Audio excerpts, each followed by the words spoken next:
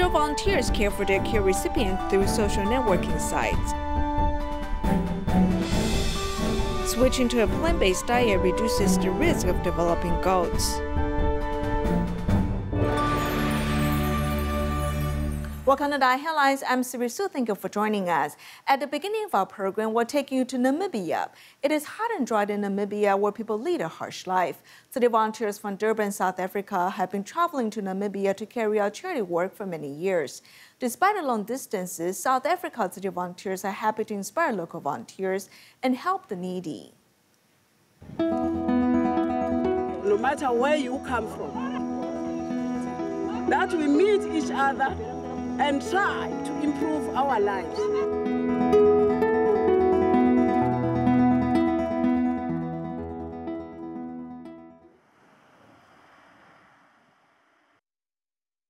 Africa Tzu Chi volunteers travel for 2,000 kilometers from Durban, South Africa to Namibia. They're delivering love and care despite the distances.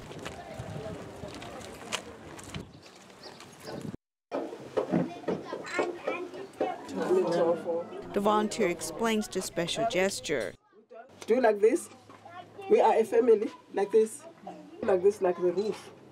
The roof, it means, and the sky is the roof. We are one under one sky.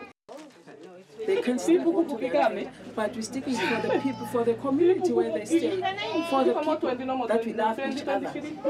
Because even in the in the Bible, they talk about that, but people don't do it. With us, we go and see the pain of that person, then we write down.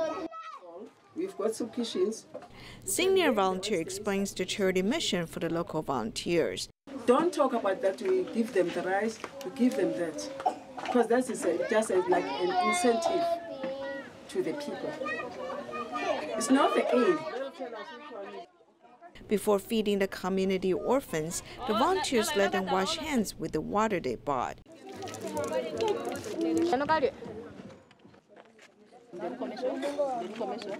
At a young age, these children eat a lot because this might be their only meal in the day. Ice cream containers or recycled plastic boxes are the children's bowls. Sitting on the ground under the shade as they eat is how they usually fill up their stomachs. There's a boy who slowly eats the rice. For the children, the rice here is especially aromatic.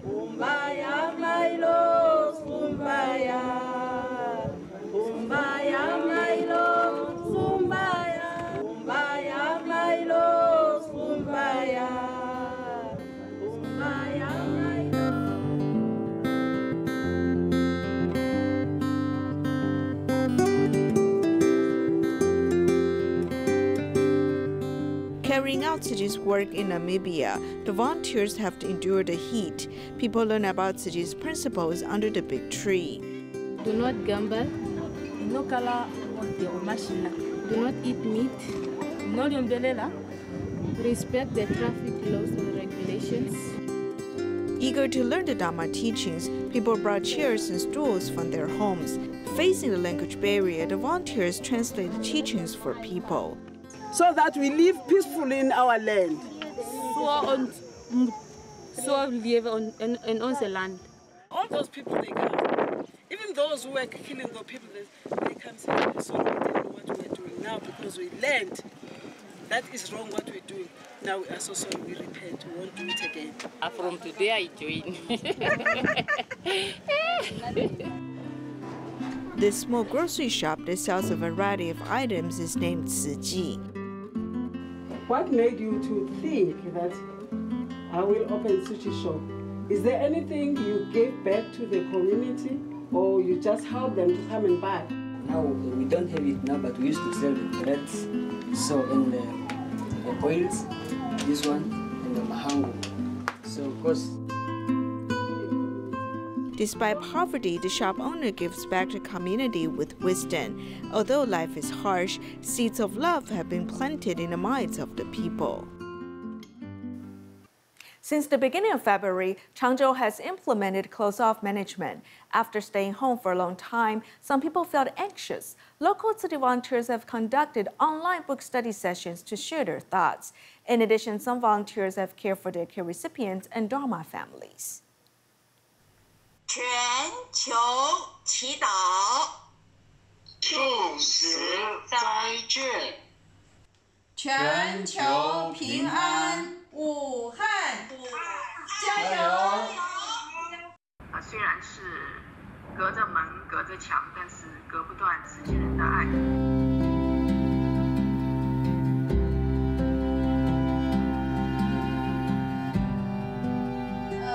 Across Changzhou, Jiangsu implements codes of management for the city. Tzu Chi volunteers care for their care recipients using social networking sites. On January 29th, Tang Yueyue and I went to buy three bags of flour. Then you deliver rice and oil, so we have enough food.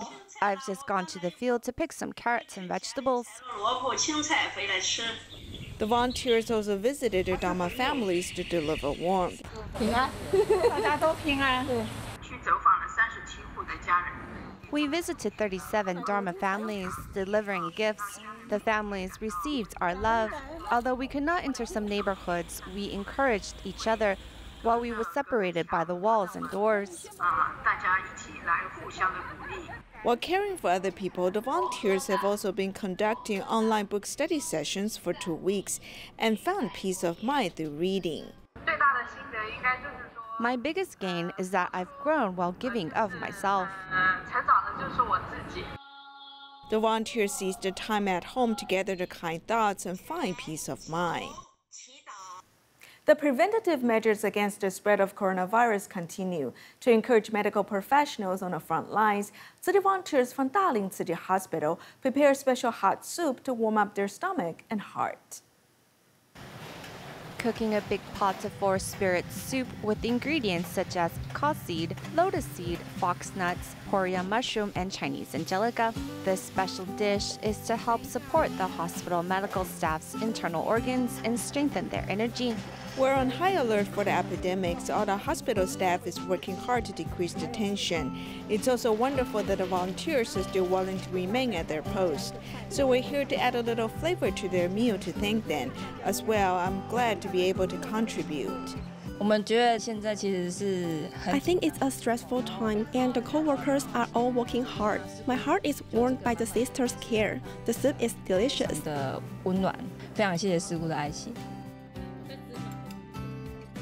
Besides the extra dish, the volunteers have also made essential oil charms to give them. Using tea tree oil's antibacterial property and Chinese juniper, which helps clear respiratory channels, as well as rose oil for a calming effect to help us get through this time safely. We're all overly stressed lately.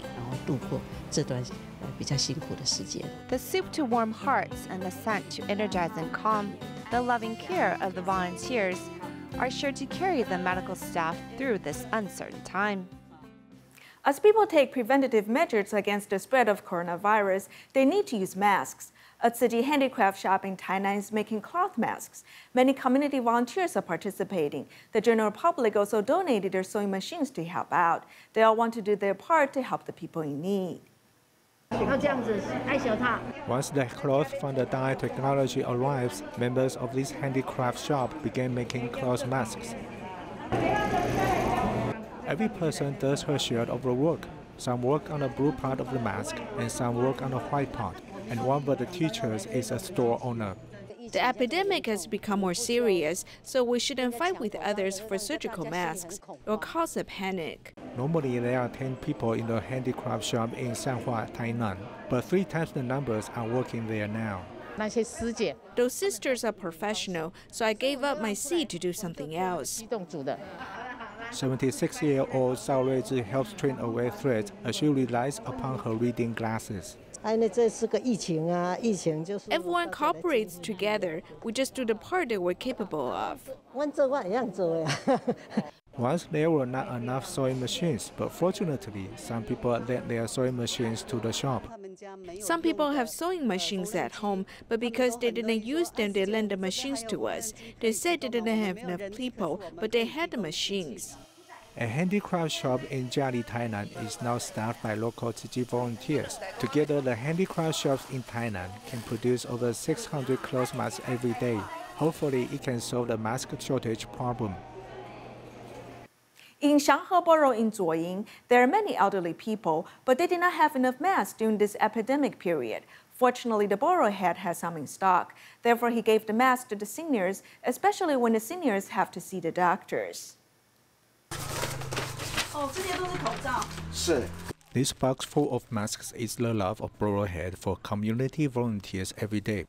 We have volunteers sweeping the streets every day, so I bought these masks earlier, and I give them to the volunteers to protect themselves when they sweep the streets.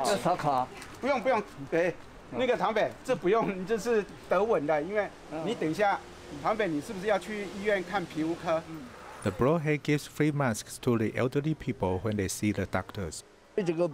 He's fantastic because he brings the masks to us, because we can't walk well. The borough head cares if we elderly have masks when we go to the hospital. This community is an aging community. On average, the residents visit the hospital once a week or even every day. They are old and many rely on wheelchairs, so they can't buy masks easily.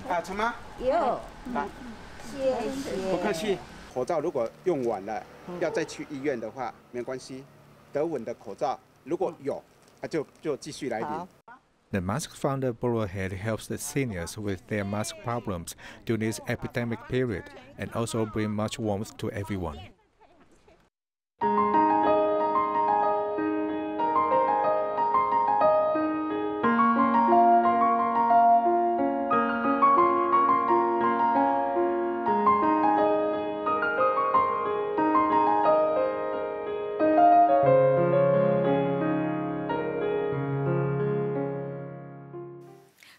in the past as the rich man's disease comes from overeating meat and seafood. Gout patients have found relief from the symptoms by changing their diet. Even if they consume beans and mushrooms, which are food with purine in it, the risk of gout is greatly reduced.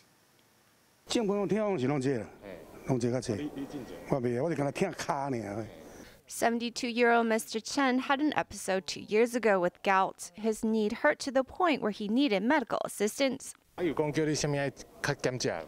啊，有讲叫你什么爱较减食？海产类，海产类安尼的。正常爱食海产。哎呦，这下无啊。 Gout is a result of too much meat and seafood, foods which are high in purine, leading to a buildup of uric acid in the blood, causing arthritis pain and joint disfiguration. Changing one's diet to vegetarian is a good way to prevent gout symptoms. 素食来说，哈，尤其是 In vegetarian diets, the Mediterranean diet where there is lots of vegetables and fruit it's really helpful to gout patients besides medication. According to research, if you consume over 1.92 portion of meat product each day, it already increases your risk of gout by 41%. If you add seafood to the diet, then the percentage is even higher, possibly to 51%. However, if you keep to mainly a plant based diet, even if it does include beans and mushrooms, it does not increase your risk of gout. The protein and protein from the plant-based food is far superior than meat-based food. Vegetarian is a better choice. A word of caution about vegetarian diet for the public, it's best to avoid over-consuming fruit, which is high in sugar and sugar-filled beverages, as glucose is also a risk for gout.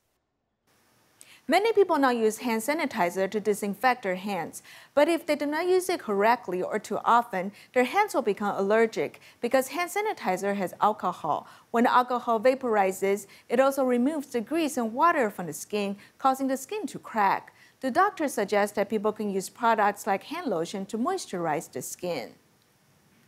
100 Medical volunteers have contact with many patients every day, so they usually use the hand sanitizer to save time. I use it about seven to eight times a day, so my hands feel coarse and also like going to crack open. There are many types of hand sanitizer in the market, and most of them include 60 to 95 percent of alcohol, condiment, and glycerol. If used too often, it can worsen the skin and make it dry. There is grease on our skin, and it lubricates and protects the skin. If we wash our hands too often, we'll wash away the grease. We can use the lotion, Vaseline, and Zuyin cream to moisturize our skin. Zuyin cream includes ingredients such as purple gromwell, Chinese angelica, beeswax, and they are gentle to the skin. If the truck comes with salad, one person can only buy two cans. Tobacco and Liquor Corporation also sells the sanitizing alcohol, which is sold out quickly. There's a rumor about making hand sanitizing powder with Chinese herbs, but the doctor remains doubtful. Alcohol can sanitize very quickly, but whether the Chinese medicines are also equally effective, and this hasn't been proven in the clinical studies, so I'm not sure about it. To improve your immune system, you should stay away from raw and cold foods and also have enough sleep and a balanced diet. If possible, you should wash your hands with water and soap to protect your skin. In Indonesia, Tzu Chi School has held a Chinese Day event, asking students to draw pictures with the things of Jing Si aphorisms and sutra of innumerable meanings. The students were creative and drew about their life experiences. As they learn Chinese, they've also cultivated their moral character.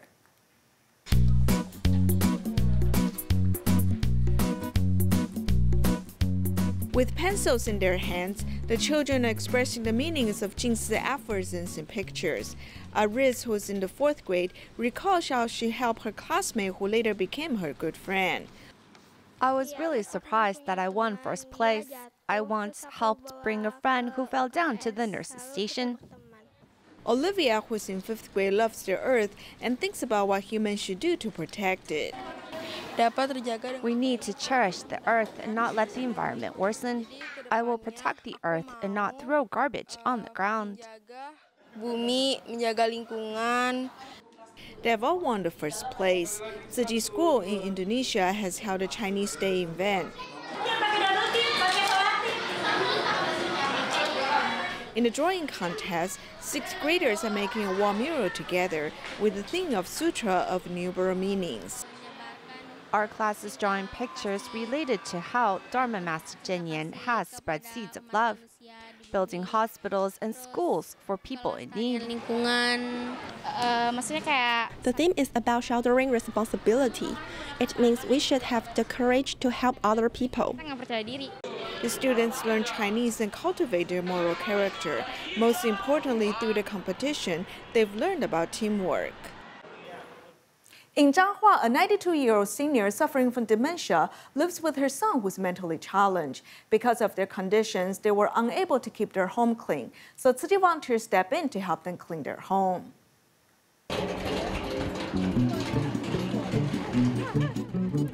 The noise made by this handheld cart is very loud and clear in this quiet alley because the cart is taking out garbage again and again. I'm glad to help others.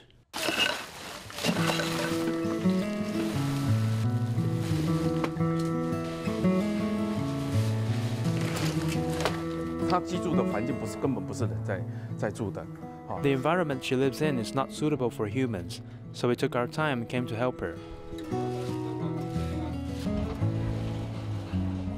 Adults and children come to help this family because the 92-year-old grandma suffers from dementia, so her home is filthy and there is also a stinky smell of rotten food. It's like a big rock being moved away, so I can feel much relieved. The younger sister wanted to help, but she could not do it. Fortunately, Chi volunteers came and made the grandma's house livable again.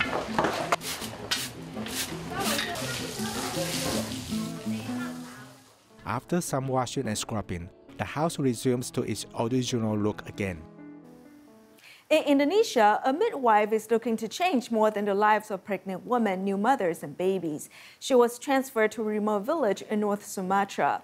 As the villagers live near the ocean, their way of disposing their garbage was simply tossing it into the water.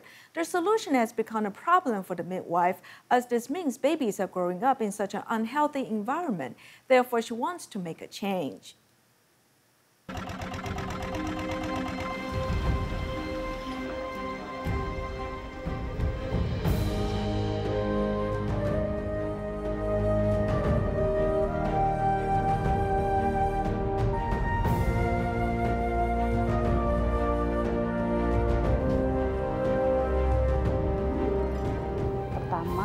Saya datang di sini, When I came here for the first time, the environment stuck out at me. It was very disorderly. The villagers throw garbage everywhere.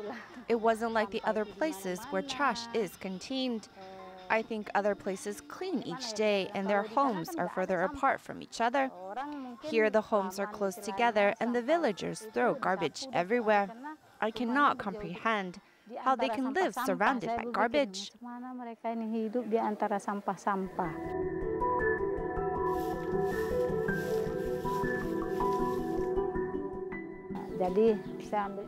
I decided to act. I'm a midwife, and my job is to take care of pregnant, birthing, and postpartum mothers. But I thought about it. If I was to just only do my job, then what will happen to the surrounding here? The neighborhood is not sanitary, then it will affect the babies and pregnant women. Thus, I must find a solution to solve this problem. Saya harus cari solusinya macam mana caranya. Jadi kalau kita lihat ke depan, it concerns our health problem. Our villagers live closely in contact with one another, and their overall health is impacted because everyone just throw garbage away without concerns. Besides, we don't have showers or bathroom facilities. Terutama MCK-nya.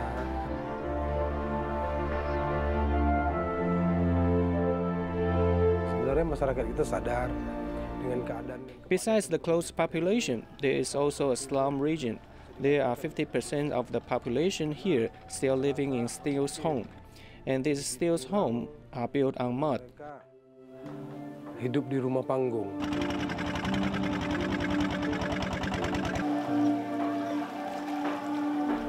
Dalam arti kata lumpur itu apabila masuk pasang air. So when the tide comes, their homes are flooded by the ocean waters, on top of which they don't clean up the garbage around their homes. Itu tidak bisa mereka mereka bersihkan. Kalau kalau kayak kau ini harus banyak juga istirahat. Jangan banyak terlalu banyak kerja. Kau istilahnya kau baru siap satu baru melahirkan.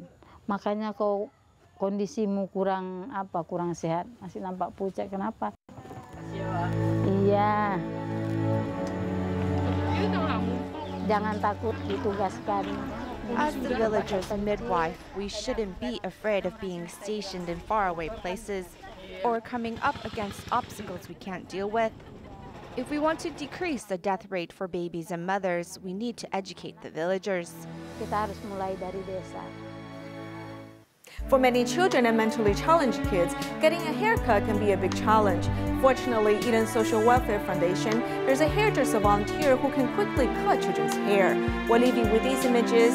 Thank you for joining us. Goodbye.